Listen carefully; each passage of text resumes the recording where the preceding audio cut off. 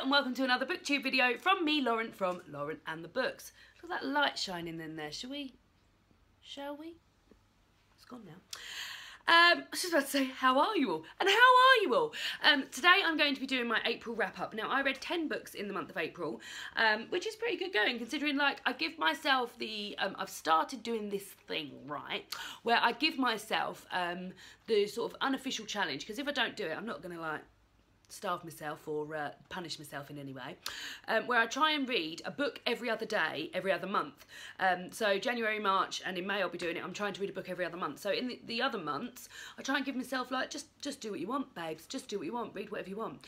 Um, obviously including like my book club stuff and things like that there's no there's no like pressure to get things done and these sort of like months of reading hardcore um, keep me on target for my um, for my 150 book challenge um, and then the months off is just a bit more casual but I've read 10 books um, in the month of April which is amazing so the first book let's have a bit of the first book I haven't got actually here with me, I've um, I've, I've re-gifted it to my goddaughter, um, is a um, a picture book called Archie Snufflekins. Archie Snufflekins, something Tiberius cat. and it's a really, really cute. Um, picture book about a cat that um, along this road everyone thinks that they own him. Oh, Valentine, his other name is Valentine. Um, Archie Snufflekins, Valentine, Tiberius cat. Um, he is owned, they, they think he's owned by an entire road. Uh, the, the entire road thinks he owns him, but really he's just sort of like going to each person's house, having something to eat, etc, etc, enjoying himself. Um, but there's one house he doesn't uh, visit on that road and it's the house that belongs to an old lady. Um, and um, it's just a sort of really, really cute, lovely story. Really, really nice artwork. Um, I'll insert a picture of the front cover here if I haven't done so already because I'm so on that sort of thing um, and it was just lovely and I've regifted it to my goddaughter who will be who's coming up for her second birthday um, so and she loves cats um, so that was a really nice thing to, do that was a really nice thing of me to do. Um, the next book I read was The Muse by Jessie Burton. Um, this I read for my um, book club at work. Now, I read The Miniaturist. Um, oh, he's falling out. I read The Miniaturist a, um, a couple of years ago when I just started BookTube. Sorry about the glare on this. It's a library book. Um, I read The Miniaturist a couple of years ago and really didn't get on with it. I was very, I'll be honest, I was bored by it. Um, but a few people had recommended this and wanted to read this for book club and it came out of the pot and I really, really loved it. So it, it it flits from um, the 1960s, I believe. Let me double check. This was like a million years ago since I read it. Yep, the 1960s.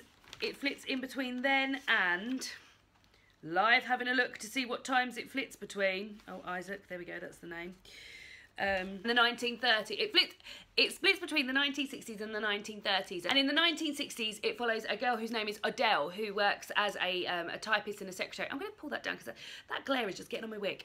Um, who is a secretary or a typist at an art gallery. Um, and a piece of art is brought to the gallery.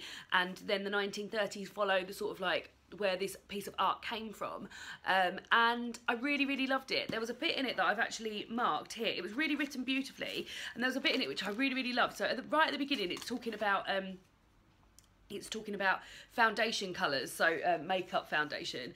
And it says here um, in the makeup department in Arding and Hobbs at the junction, I'd only find things called buttermilk nude, blonde corn, apricot bloom, willow lily, and other such bad face poetry.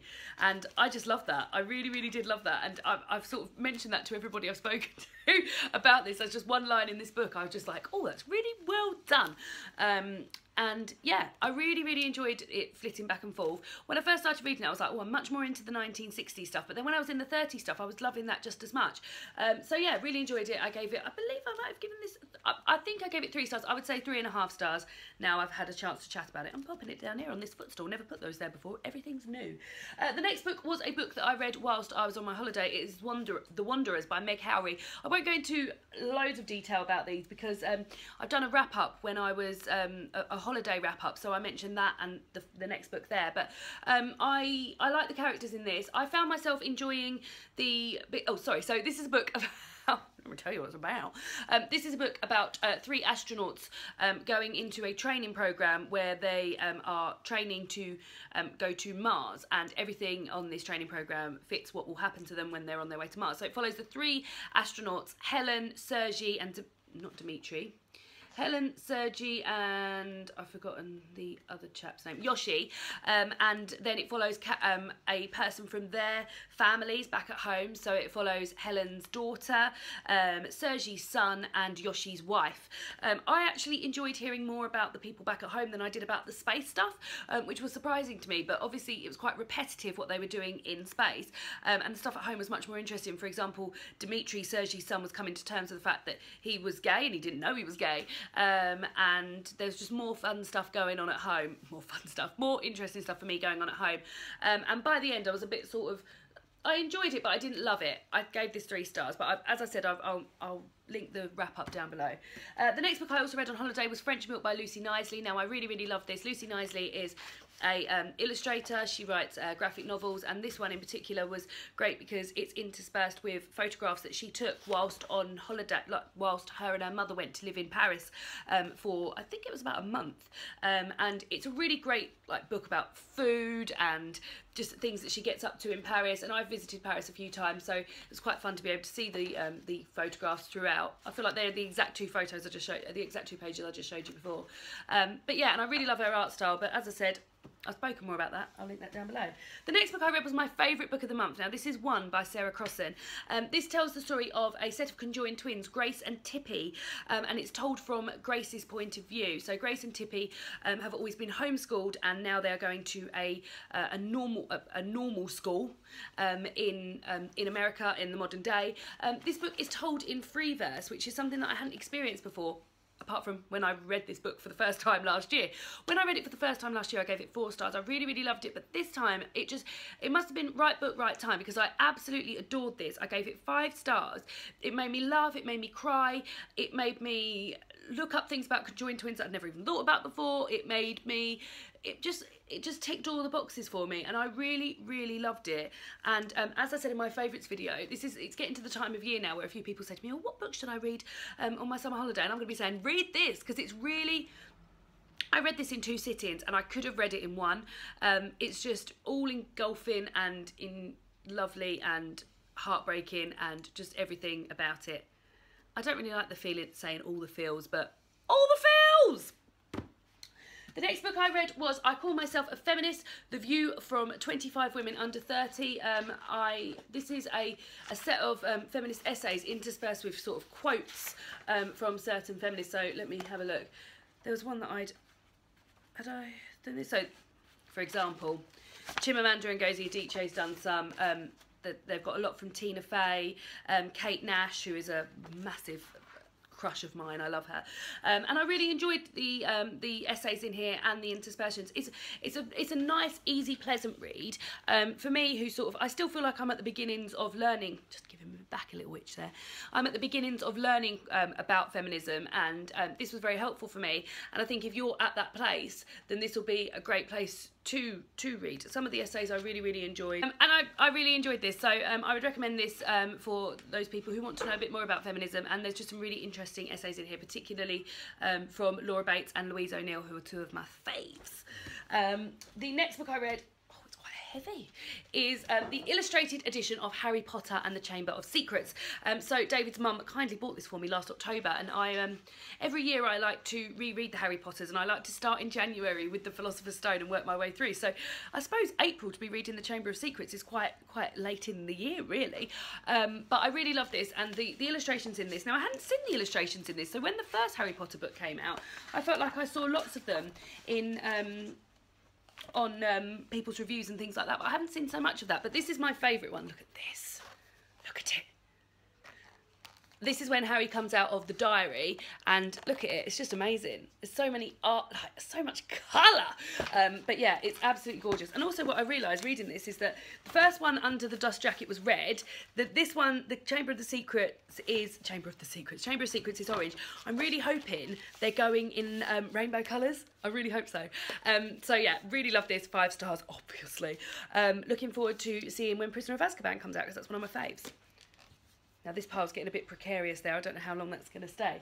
The next book I read was a, uh, a graphic novel and this is uh, Raymond Briggs' When the Wind Blows. Um, I read Ethel and Ernest earlier this year and really enjoyed it and um, wanted to read a bit more of Raymond Briggs things. And this um, follows um, a couple sorry again, from the library, so it's, it's, it's much shorter than there go my books. It's much shorter than um, Ethel and Ernest, and it's told in a much more um, comic strip way. Um, but this tells the story of um, a couple who are um, sort of naively um, finding themselves in the middle of a nuclear attack, and um, they're trying to do the things that the um, that the government's instructed them to do, while still trying to live a life and like uh, for example, after the blast, uh, the the wife in this is still concerned about concerned about her pillows and how much she loves her pillows, and don't scratch the doors and things like that. And they're they're slowly sort of dying basically and it was heartbreaking but also like really compelling. Um, I think if you liked Ethel and Ernest you would like this but it is scary and sort of like made me feel oh um, and I gave that three stars. Uh, then the last two books I read, I read Everything is Teeth by Evie Wyld and Joe Sumner. Now, I really, really love the artwork in this.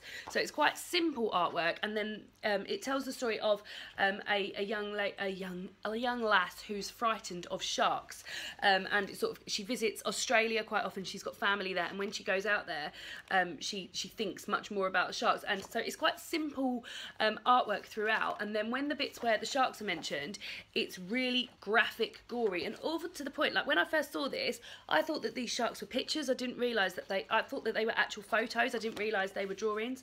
Um, and yeah, it's sort of to do with fear and her relationship with her mother and father. Um, and just really well done and very enjoyable. So very much enjoyed that. I gave that three stars, I believe. And then the last book I read um, was Miss Peregrine's Home for Peculiar Children. I started this on Cozy Reading Night um, and I finished it this weekend. Um, this is a book that was made into a film recently. I've got the film front cover here. Um, and this is about a young lad, Jacob, whose um, granddad, when growing up, has always told him quite strange stories about his background and things like that, um, involving monsters and things. and Jacob decides he wants to look more into it when his granddad sadly dies, um, he wants to look more into um, his granddad's background and he goes to visit Wales, um, where his granddad went to school and he was um, sent there when he was in the war. Um, then throughout this book, so that the writer of this book, Ransom Riggs, um, found some photographs when he in like a, yard sale or a garage sale and he's interspersed this book with these photographs and linked them in to the to the story somehow um, which to begin with I was like oh my god this is really unusual. I've never read anything like this before. And I thought it was a very very good um, way of telling a story and quite visual um, but by the end I found maybe the links were a bit contrived and a bit tenuous um, so yeah, but I did really enjoy it and I liked the story um, and I really want to watch the film and it was a real easy read for me. I haven't read much uh, middle grade or YA, wherever this may fall, I think probably YA, for a long, long time. So it was a treat for me to be able to read that. I'm going to have a bit of my tea while I'm here.